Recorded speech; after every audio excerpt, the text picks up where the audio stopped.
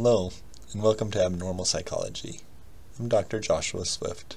I'm a faculty member here in the Psychology Department at Idaho State University. For this week's lecture, we're going to be doing introductions to the course. We'll focus on the syllabus and going through each of the assignments and uh, schedule and readings for the course. If you have any questions at the end of this lecture or after reviewing the syllabus, uh, please feel free to contact me by email. Before we start uh, going over the syllabus and course requirements, though, I wanted to play a little game. I call this game Find the Psychologist.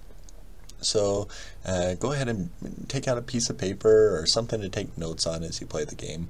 Uh, you'll be able to earn points, not real points that you can uh, will apply to your grade or anything, but uh, fun points just to see how you do. Basically, there's six rounds in the game. Uh, I'm going to show you a list of individuals, and among each list is one psychologist. You get one point if you're able to identify who the psychologist is, and then one extra point if you can identify the common occupation of the remaining individuals. You ready? Round one. Who's the psychologist among this list? And what's the occupation of the remaining individuals?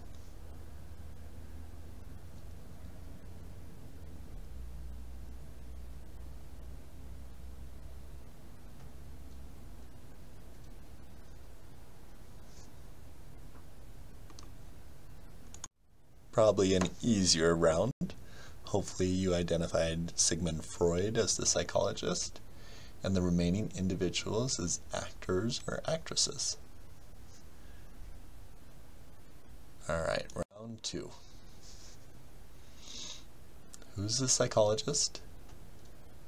And what's the remaining occupation?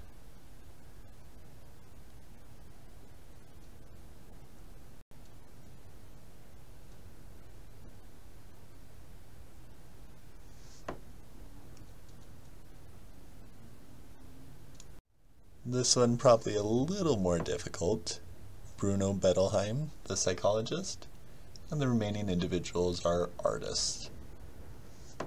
Ready for round three?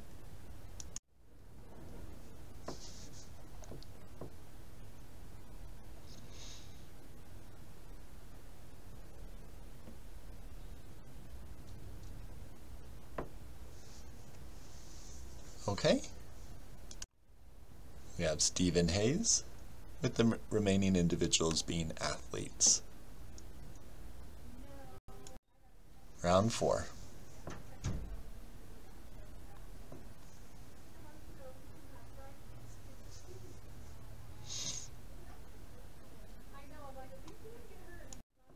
Okay, the psychologist being Lawrence Kohlberg, and the remaining individuals being politicians.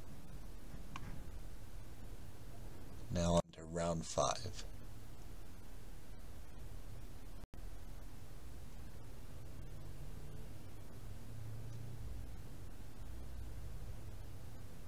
Got your answer? All of them are scientists, and Marsha Linehan in particular is a psychological scientist. Final round.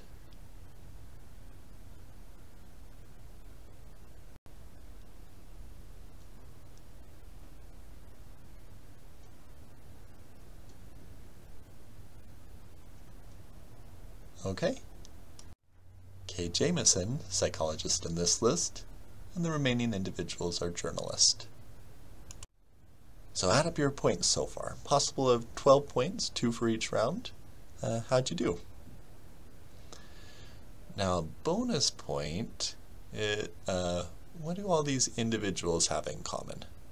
Go ahead, I'll give you five seconds. Think about it. What can you come up with?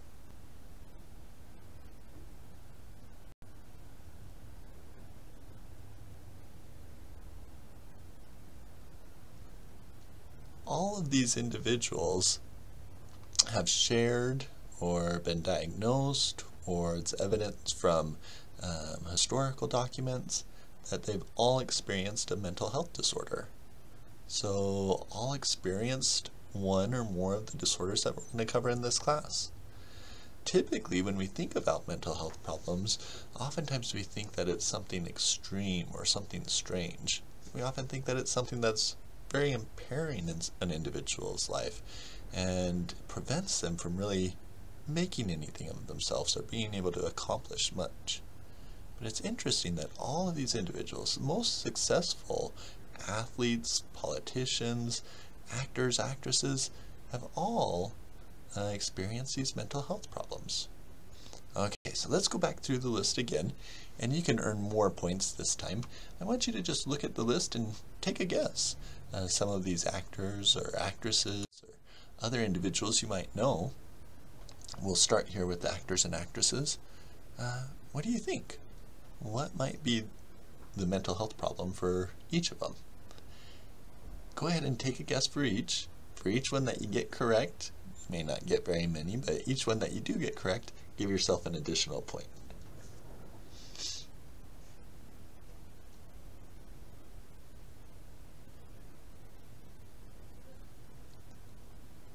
Five more seconds. See what you can come up with.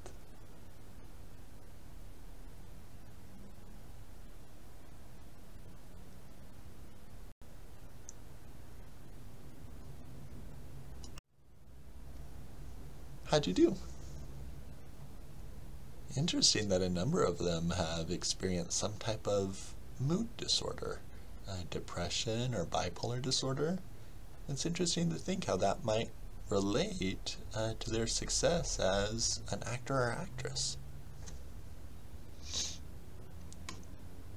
Let's go on to the second list. This was the artist. What do you think for the mental health disorders for each of these individuals?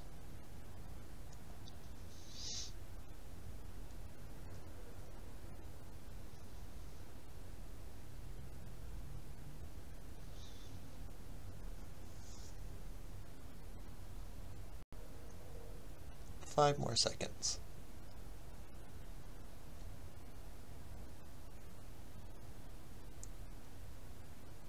Okay. Did you get any right? Again, here we're seeing some depression, some bipolar disorder, some of the mood disorders, but a little bit more variety.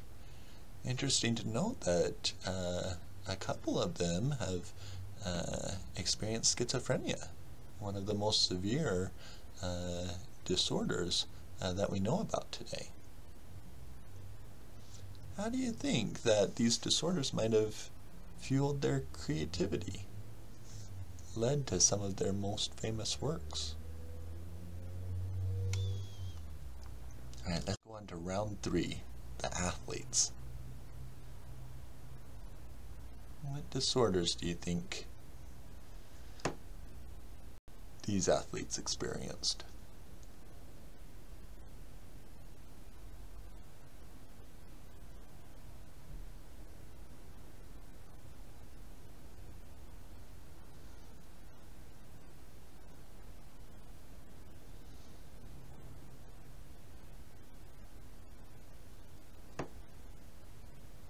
Okay? And check your answers. We see some depression here, but uh, notice that we see a little bit more of the anxiety disorders within the athletes. And you think about that with their performance and uh, the anxiety that it, it might come with uh, performing in front of large crowds of people and uh, your job depending on your ability to uh, perform well.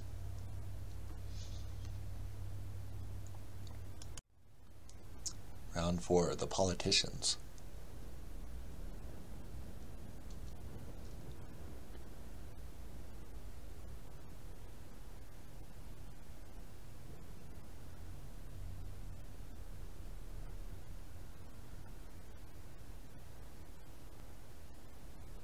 Okay?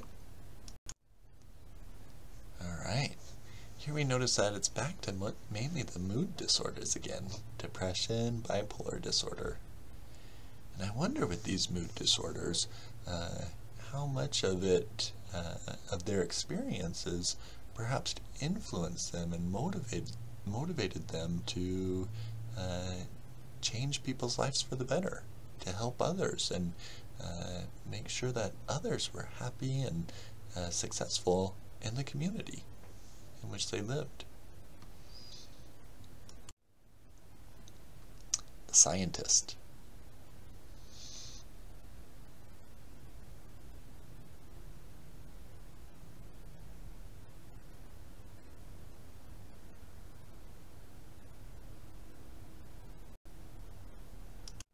Did you get any of these right?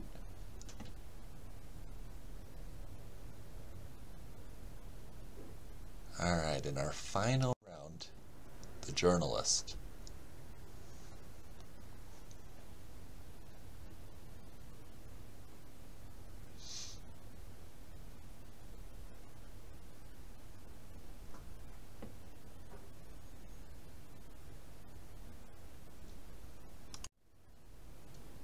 Which ones did you get?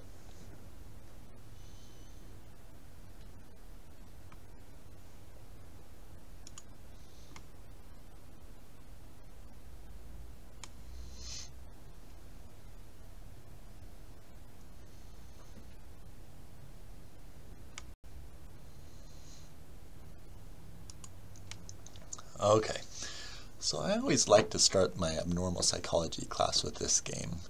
I love it because, like I said, we often um, we think about mental health problems, when we think about these psychological disorders, and we often think about them in the extreme. And we often think of individuals who are uh, placed in state hospitals or individuals who maybe are at danger to themselves or others. Uh, but as serious as mental health problems can be, uh, they're also very common. We'll talk about this semester about the uh, how common mental health problems are within our population. It's estimated about 25%, one in four of us will experience a mental health problem at some time in our life.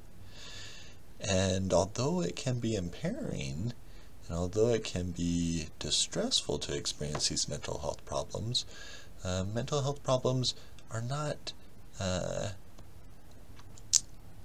they don't necessarily have to cause major um, limitations to our life. We see by this list individuals who have gone on to uh, live very successful lives and gone on to have major impacts on our society and the world. And this despite uh, their mental health problems. And I say despite their mental health problems, but some of their um, great accomplishments may be in fact due to the mental health problems that they experience. all right, let's jump into what are we going to actually do this semester.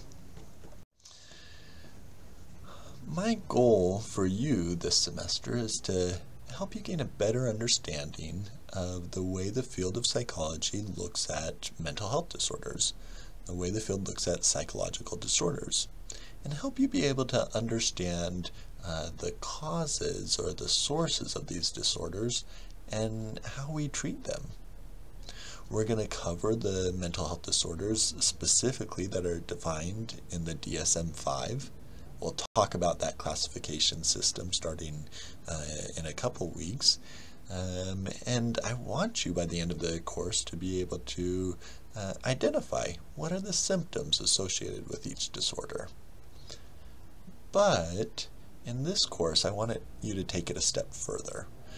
Uh, the textbook is going to be able to help you identify kind of the symptoms and uh, understand a little bit, gain knowledge about the disorder. But I want you to take it a step further and really think critically and think deeply about these disorders. Figure out what they actually look like in real life and develop thoughts, understand the theories uh, behind the disorders, and try to make sense. Why would they develop for an individual? And that's going to come a lot from the lectures and the additional assignments that I'm going to have you do. So let's talk about each of those parts. First is the textbook. On the syllabus, uh, if you have that in front of you, you'll notice that each week has a chapter or two chapters uh, that I want you to read in the textbook. This will give you some of that foundational knowledge uh, about each of the disorders that we're talking about. In addition to the reading the textbook, though, each week or almost each week, uh, I'll post a lecture and some other videos for you to watch.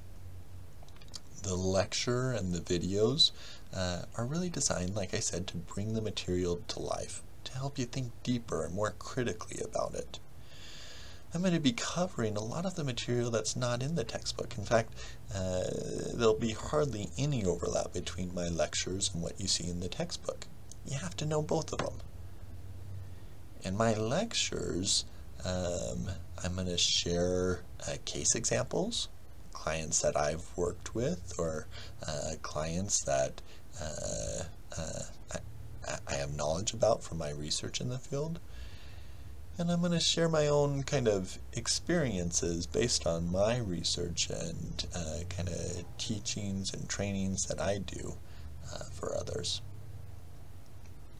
And we're going to do some activities just to help you kind of understand the disorders a little better.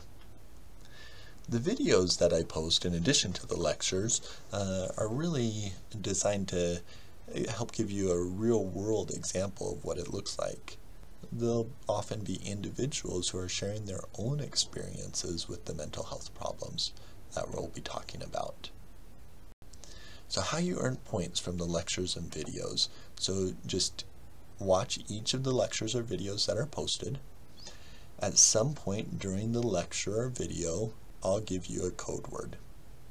So the code word for this week's lecture is introduction. Now that you know the code word, of course, finish watching the rest of the lecture, but then when you're done, go on to Moodle, and for this week, uh, week's assignment, just type in that code word, and then you'll get the points. And for each lecture that you watch and type in the correct code word, you'll earn 20 points. So that's a total of 240 points over the course of the semester and 24% of your grade.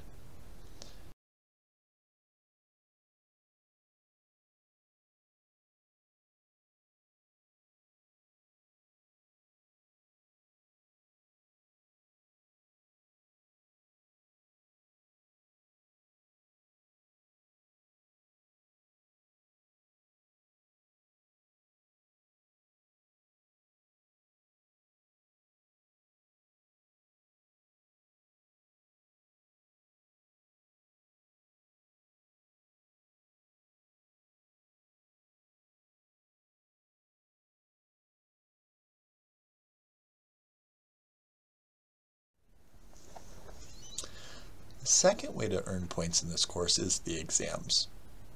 Pers purpose of these exams is to test your knowledge of the material. What are you actually taking away in terms of knowledge? And to test whether you did read the textbooks and pay attention to the lectures and the videos. Each exam is worth 150 points, so 450 points total and 45% of your grade. These exams are all online they're open book, open note. You can use whatever material you want, even the internet, but they are timed. And so you're going to have limited time if you haven't read the material or watched the lectures ahead of time. You'll have difficulty answering all of the questions in the time allocated. It's also important that with each of these exams you do your own work. You can use whatever resources that you have in front of you, but do not talk to other classmates or ask roommates or family members for help on, on these exams. This is testing your knowledge. All questions on the exam will be multiple choice.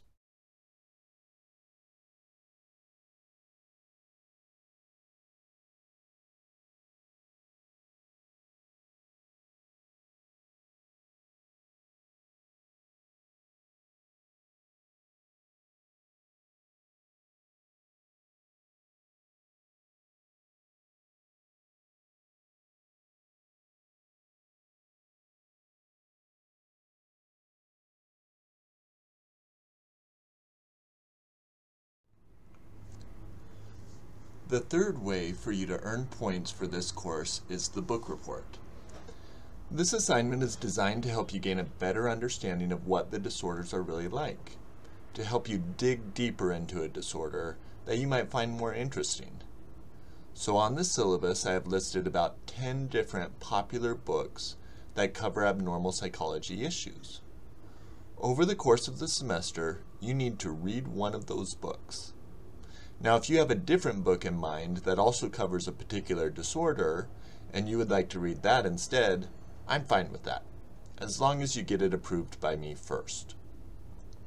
This assignment is worth 160 points total. You get 120 points of those points by just reading the book. At the top of your paper, you will need to include a statement saying how much of the book you read. So for example, I read 100% of the book, or I read 50% of the book. And that will determine the percent of those 120 points that you receive. The remaining 40 points will come from the report that you write. This is a three-page, double-spaced report. It needs to be exactly three pages, and you get 10 points if you follow that direction. The first page is worth another 10 points, and in it, I want you to provide a, a brief summary of the book. The second page can also earn 10 points, and in it, I want you to write about three main lessons you learned from the book. The final page is also worth 10 points, and in it, I want you to describe three things you are going to do differently in your life or career now that you have read the book.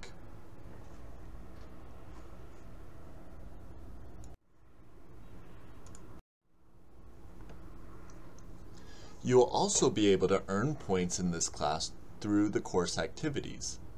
I have six different activities that you will need to do using the Moodle forum function throughout the course of the semester. The purpose of these activities is to help you think deeper about the topics and give you some more hands-on experience with them. Each activity is worth 30 points, and in total, they are worth 18% of your final grade. So for each one, you log into Moodle and go to the corresponding forum. In that forum, you create an initial post. This needs to be done by Wednesday at 11.59 p.m. in the week they are assigned. Then, by Saturday in that week, you need to reply to the posts of others. So for example, the first week includes an introduction activity. For this activity, you need to first write a short introduction paragraph about yourself and post it to the forum. Then, by the end of the week, read through the posts of others in the class and find someone who has something in common with you, and reply to their post sharing the common thing. Remember, be polite and respectful in all course communication. And, since these activities are interactive, none of these can be completed late. If you don't complete the initial post by Wednesday at 11.59 p.m., or the reply post by Saturday at 11.59 p.m., you don't get points for the activity.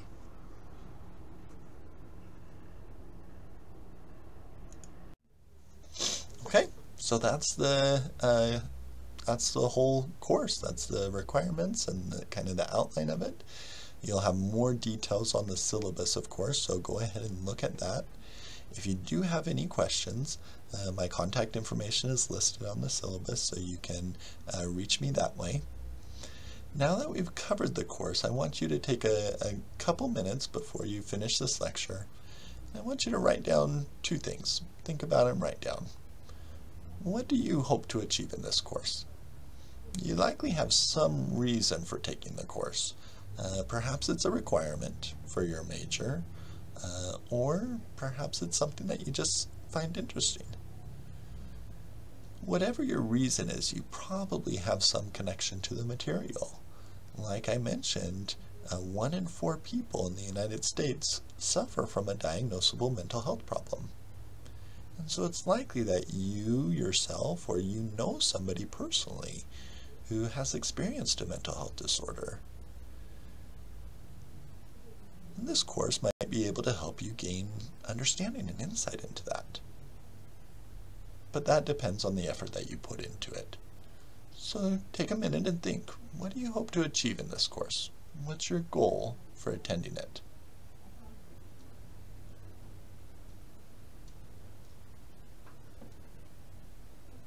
And then as you have that in mind, I want you to write down, and please do write this down so it's more concrete, it's there in front of you.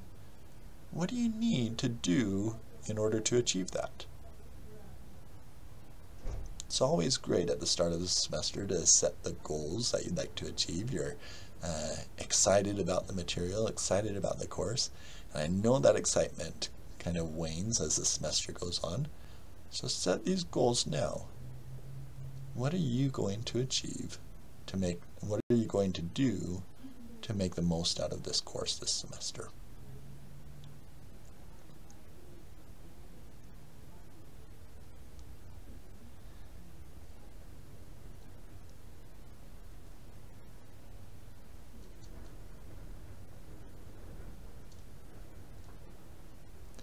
And when you have that written down, that's the end of this first lecture.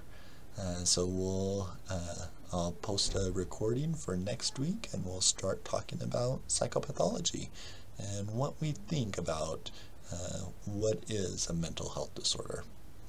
Thanks for listening and I'll uh, see you again next week.